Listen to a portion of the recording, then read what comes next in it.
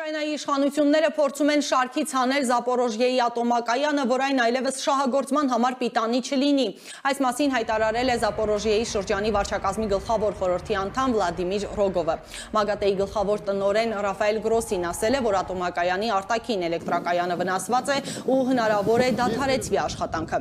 Ավելի վաղ Զապորոժիեի իշխանությունները հայտնել էին, որ Կիևը միակողմանի դադարեցրել է էլեկտրաէներգիայի հոսքը Զապորոժիեի ատոմակայանից եւ դիտավորյալ չի ընդունում էլեկտրաէներգիա, թեև կա էներգիա ուղարկելու տեխնիկական հնարավորություն։